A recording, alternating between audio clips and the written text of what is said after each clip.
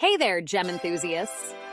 Today, I'm diving into the sparkling world of gemology to help you spot real gems from the fakes.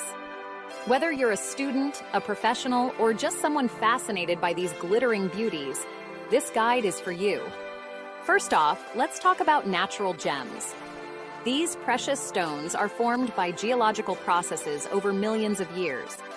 Think of diamonds, rubies, and sapphires.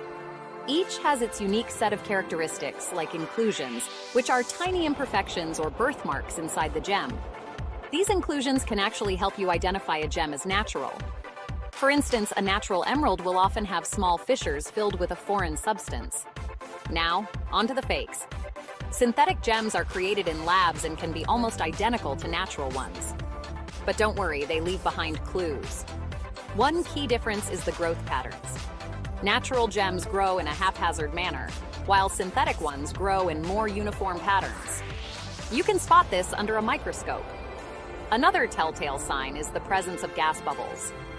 These bubbles are common in synthetic gems and are rarely found in natural ones. Use a 10x loupe to examine the gem closely. If you see bubbles, you're likely dealing with a fake.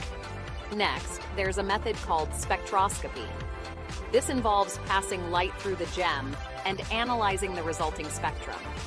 Natural gems will have specific absorption lines that are different from synthetic ones. A spectroscope can be a handy tool in your kit. For colored gems, like rubies and sapphires, color zoning is another clue. Natural gems often display uneven color distribution, whereas synthetic ones are more uniform. So if the color looks too perfect, it might be a fake. Let's not forget about diamonds. One of the simplest tests is the thermal conductivity test. Diamonds disperse heat exceptionally well. So if you have a diamond tester, it can quickly tell you if the stone is real. Lastly, be aware of treatments. Some natural gems are treated to enhance their appearance. Common treatments include heat treatment for sapphires and rubies, and fracture filling for diamonds.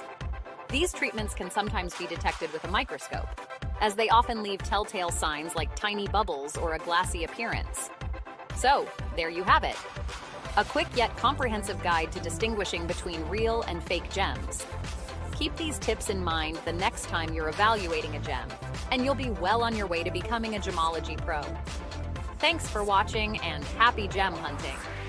Remember to join our locals communities at gemandmineralexchange.locals.com for more insightful content. See you next time.